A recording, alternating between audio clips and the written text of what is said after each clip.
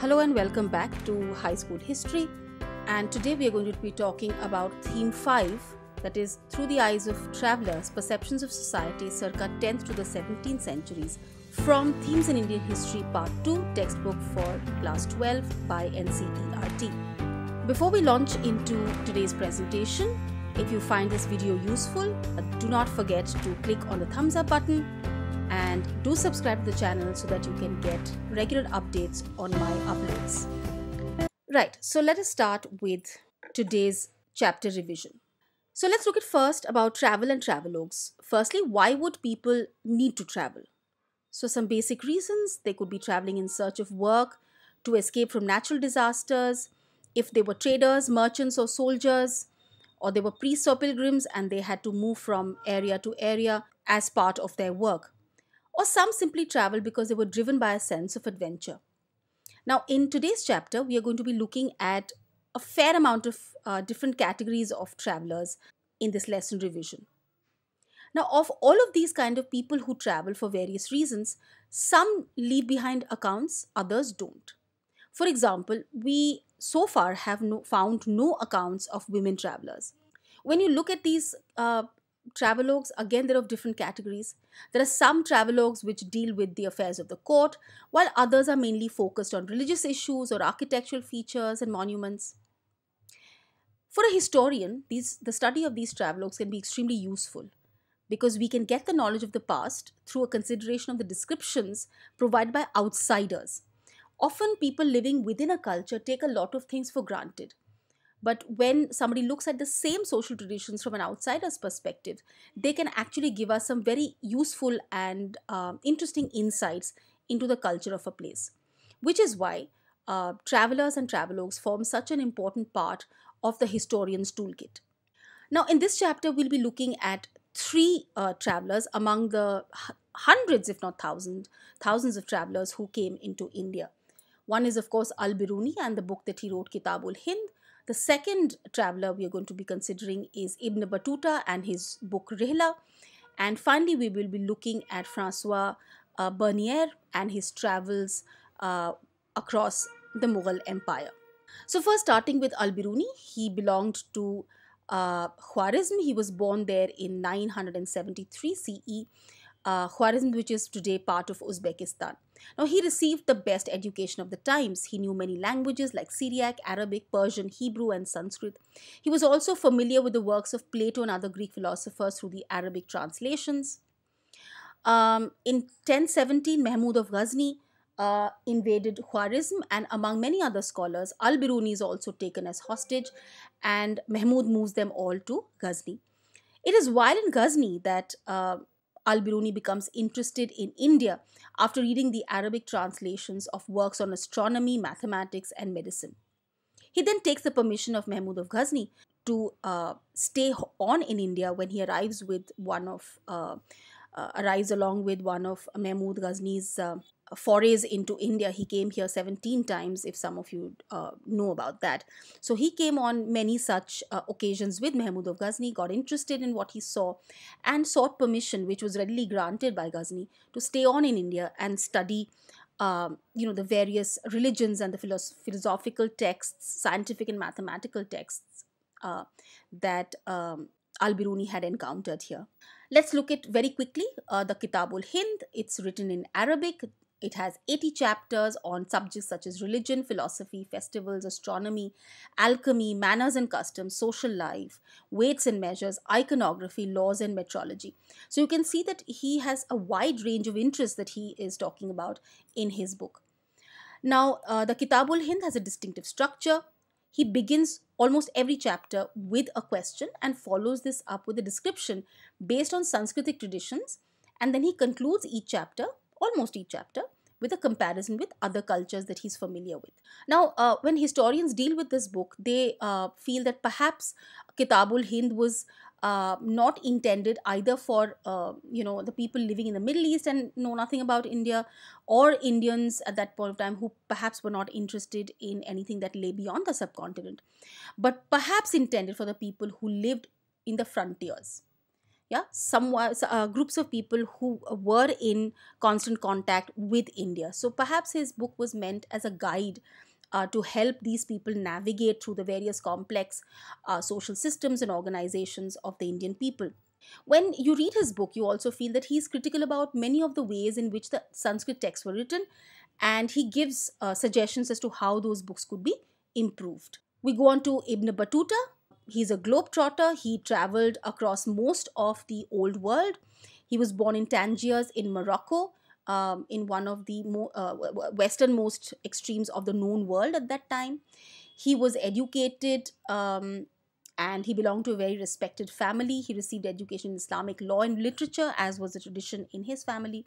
He gained considerable experience through his travels, and that's what he believed that true education actually came from traveling rather than knowledge picked up from books.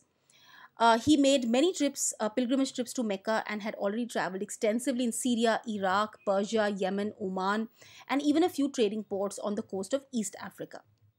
He arrives in Sindh in 1333 after hearing about the patronage of Muhammad bin Tughlaq. So he comes here, tries his luck, and he's appointed as the Qazi of Delhi by uh, Muhammad bin Tughlaq. Uh, for a brief while, it seems he had some misunderstanding with uh, uh, the Sultan and he was imprisoned for a while. But then, once the misunderstanding was cleared up, he was freed, and then uh, in 1342, he was ordered to go to China as Muhammad bin Tughlaq's ambassador. So, while on his way to China, Muhammad bin Tughlaq travels through South India to Maldives and Sri Lanka, and then uh, uh, along the coast of eastern India uh, and reaches China. From China, of course, Muhammad bin Tughlaq, sorry, Ibn Battuta does not return to India, but then travels back uh, to his homeland in Morocco. Ibn Battuta meticulously records his observations about new cultures and new things that he sees, interesting stuff that he sees, uh, and the different kind of people he encounters and their different religious beliefs. Now, among the two most important things that he does is describes the pan and the coconut. Now, why would he do something like that?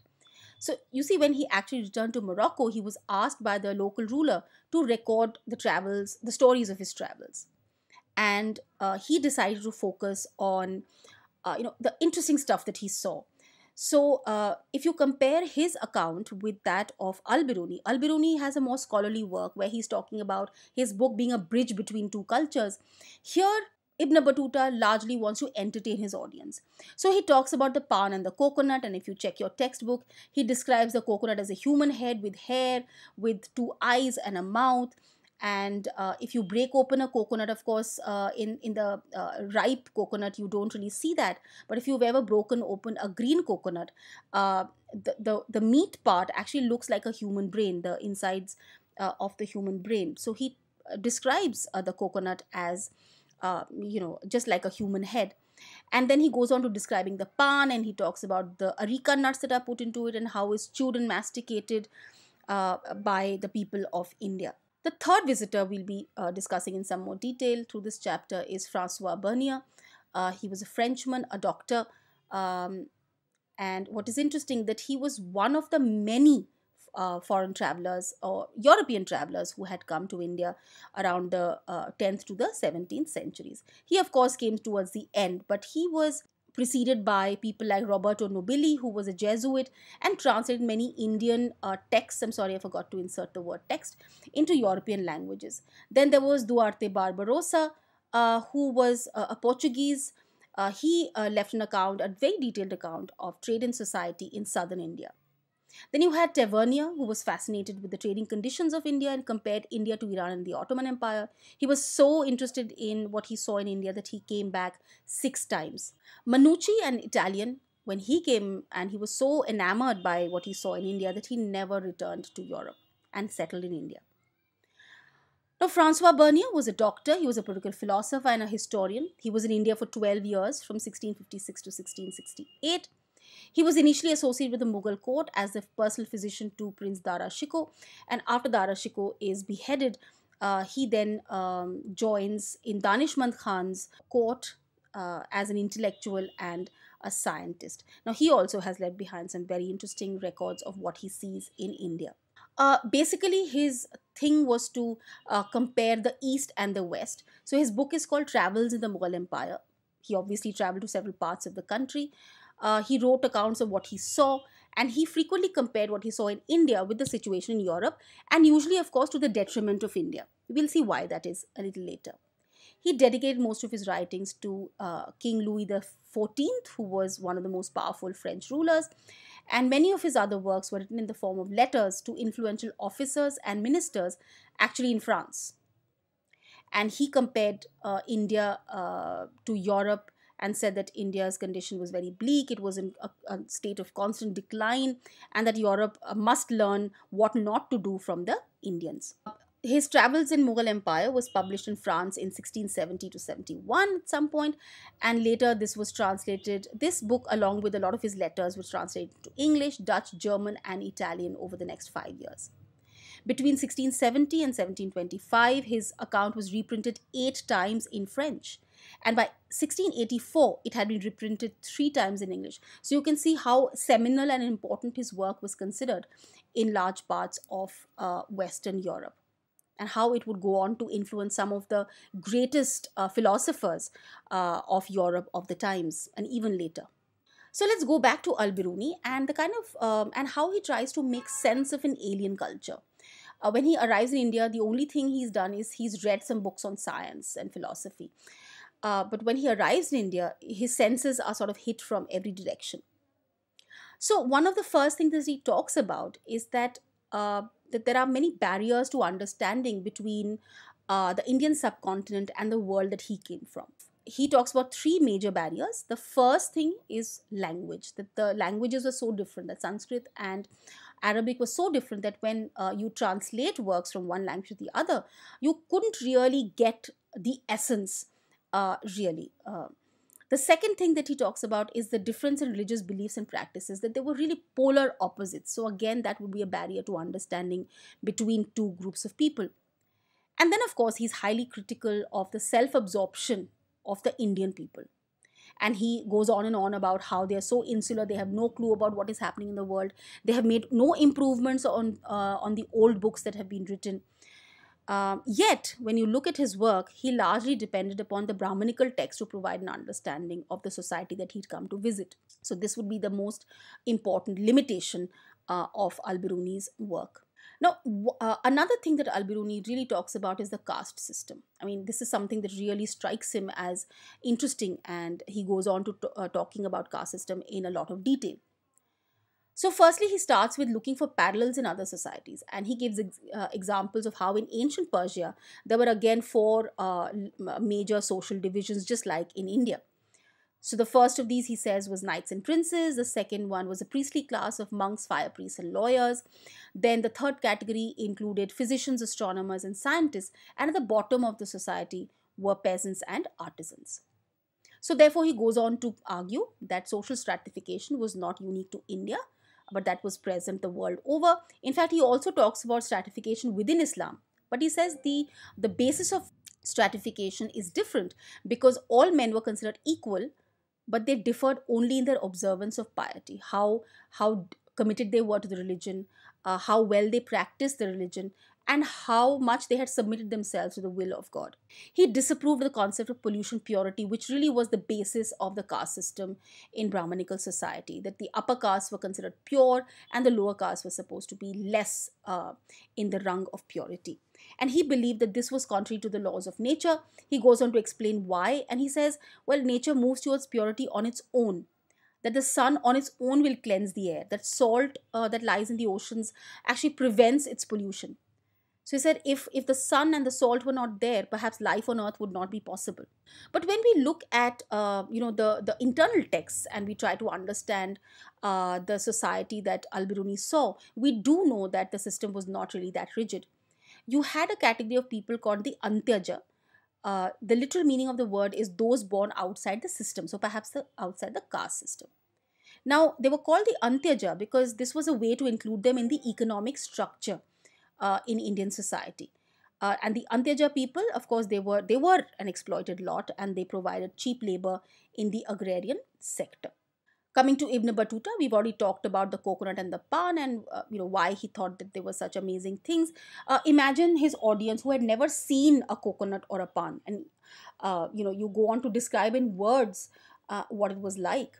Then, of course, Ibn Battuta we know has traveled extensively around the country, and he's very um, impressed with the cities that he sees. He talks about how cities are full of exciting opportunities for those who had the drive and the resources and the skills he talks about how the cities are densely populated and prosperous, and uh, except for occasional disruptions by wars and invasions, they are largely extremely prosperous places to be in. He talks about how the streets were crowded, the markets were bright and colorful, and they were stacked with a wide variety of goods. He talks about Delhi and Daulatabad kind of being two equally large and dynamic cities with huge populations. He talks about the bazaars, the places of economic transactions, uh, that not only were they places of economic transaction, they were also the hub of social and cultural activities. He says that most markets actually had their own mosque and a temple. And at least uh, in some of them, spaces were marked for public performances by dancers, musicians, and singers. And in one of the sources, you will read that how he talked about there was a swing in the middle and how the courtesans would, uh, you know, swing there and run their trade. He also talked about Indian agriculture, which he thought was extremely productive given the fertility of the land, and he said that the farmers actually cultivate two crops in a year. He also notes that the subcontinent was integrated with the inter-Asian network of trade and commerce. Uh, and he uh, accounts for how Indian manufacturers were in great demand in both West Asia and Southeast Asia and fetched huge profits for artisans and merchants. He talked about the variety of Indian textiles and the fine quality of the cotton cloth, fine muslins, silks, brocades, and satin, and how they were in great demand the world over.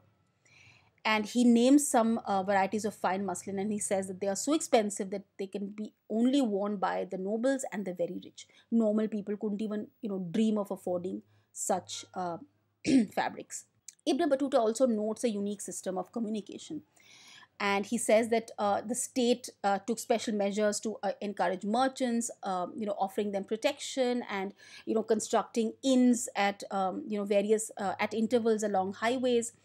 Um, then he talks about the efficiency of a postal system which allowed merchants not only to send information but also to remit credit along great distances and also dis- dispatch goods required at short notice. So he says that while for a caravan it took about 50 days uh, to travel between Delhi and Sindh, the news reports of spies could reach the Sultan through the postal system in just five days. He talks about two kinds of post. One is the uluk or the horse post, and dawa or the foot post. One of the uh, sources, of course, talks in greater detail about these two. Uh, if you do get a question on Uluk and Dawa, do feel free to uh, you know take in some data from the uh, source box and use that to enrich your answer. We now come to the third traveler again, um, Bernier, and how he calls the East degenerate. Now, um, what he tries to do is he tries to place the Mughal uh, culture uh, Mughal economy within some sort of universal framework, right? So he tries to use that same yardstick to measure Europe as well as India. So he tries to compare Mughal India with contemporary Europe in a binary opposition, meaning that if something is good in Europe, it is necessarily bad in India. We'll see uh, in one of the later examples how that happens. He also uh, perceives these differences in a hierarchical manner so that India always appears to be inferior to the Western world. So, one of the first examples he used is the question of land ownership. Now, he talks about lack of private property, that all land was owned by the king.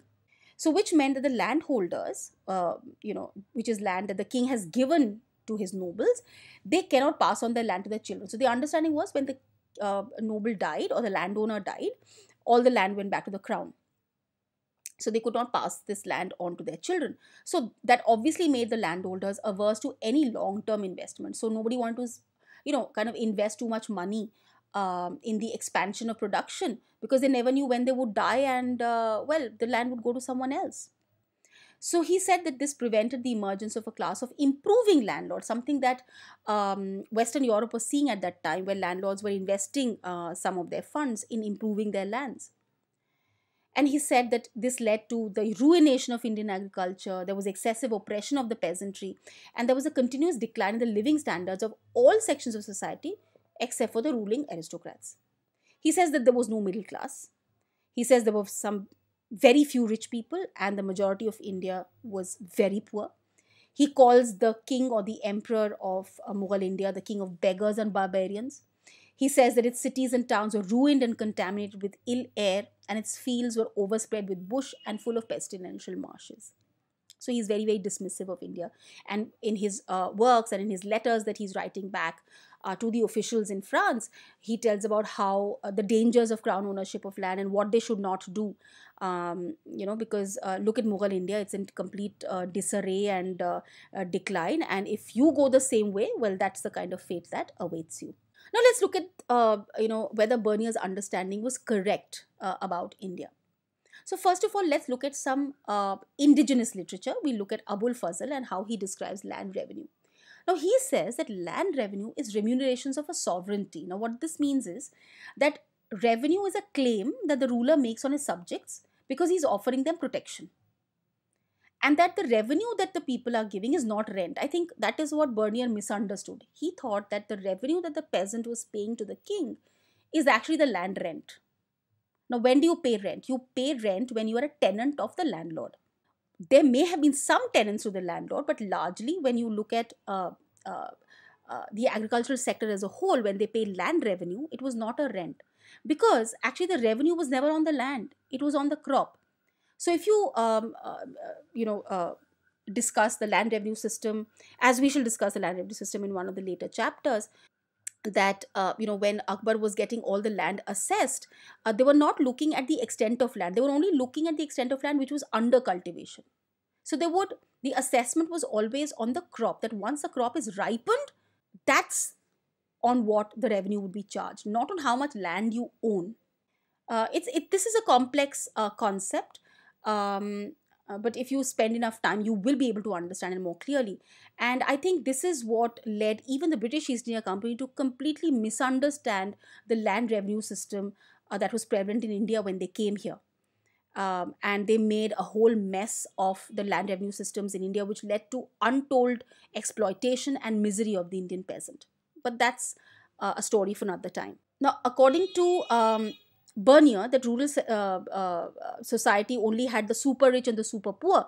But actually, when you look at um, you know the accounts of uh, Abul Fazl and some of the other local uh, revenue accounts, we do know that there were you know at one end you had the big zamindar who enjoyed superior rights in land, and on the other uh, end you did have the untouchable landless farmer. But there were also many layers in between. So there was the big peasant, you know, under the big zamindars, about the big peasant who used hired labor and engaged in commodity production. By commodity production, here I mean uh, that they were producing perhaps cash crops, you know, like cotton and oil seeds and so on. And then there were also the smaller peasants who could barely produce for his subsistence. So the smaller peasant would largely grow food grains or pulses, generally not for the market but for self consumption. And of course, this is not just the only two uh, layers between the big zamindar and the landless farmers, but innumerable.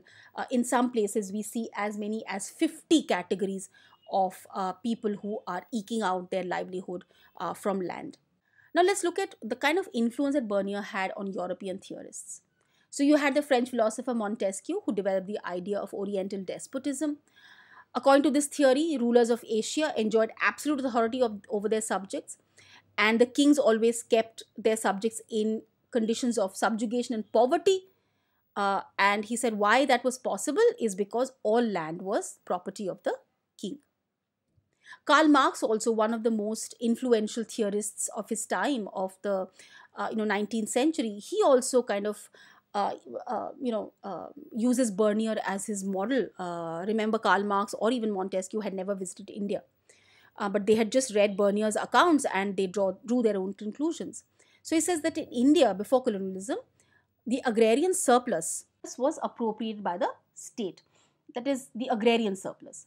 Now, this leads to the emergence of a society that was composed of uh, a large number of autonomous and egalitarian communities that they had nothing to do with the center and uh, and what was happening in the center never uh, you know uh, impacted um, rural communities at all and that rural communities were egalitarian but again, when we look at chapter 7, we will see that how rural societies really were again extremely nuanced and there were many layers uh, of hierarchy within rural societies as well. So, again, a complete misunderstanding of the rural systems uh, in India. He also said how the imperial court presided over these village communities and respected their autonomy as long as the flow of surplus was un- uninterrupted. And Karl Marx said that this was a stagnant system and this would never encourage any kind of economic uh, development. However, as uh, you know, a lot of our local records, uh, you know, Indian records, uh, regional records will show us that the reality was far more complex than what Bernier actually saw. So, for example, when Bernier said that artisans had no incentive to improve the quality of their manufacture since profits were all taken up by the state, that manufacturers everywhere were in decline.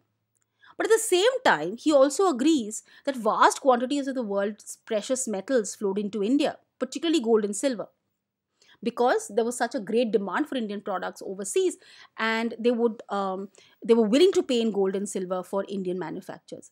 He also does concede the fact that there was an existence of prosperous merchant communities which engaged in long distance trade. So merchants were not noblemen, and merchants were not you know beggars either. So could we classify them as the middle class? We also know at that point of time that there was at least 15% of India's population that lived in towns. This was far higher than the urban population in Western Europe at the same time.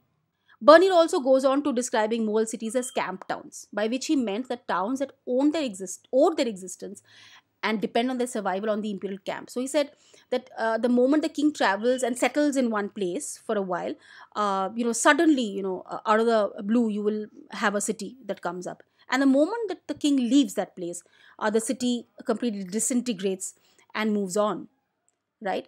Uh, but then we know from uh, you know many different kinds of evidence that there were permanent cities of different kinds, whether they were commercial cities, administrative cities, religious centers, right? And they were far more permanent than a king's camp.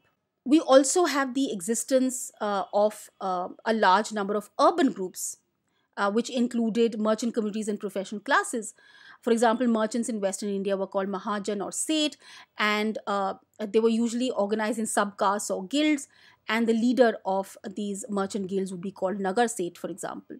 Then you had uh, numerous physicians, uh, both uh, you know dealing with the Unani system as well as the Ayurvedic system, that is the Hakim and the Ved.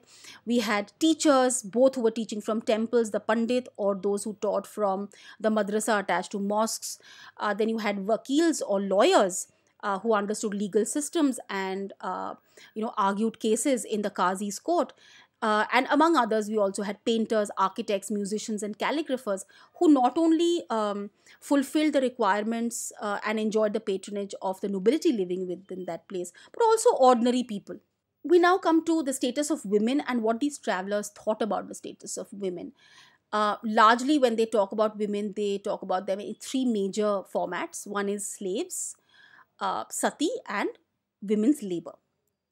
So, now slavery was seen as something very normal. So um, all three of them, whether it is Ibn Battuta or Al-Biruni or uh, Bernier, they all talk about slavery in a very matter-of-fact way.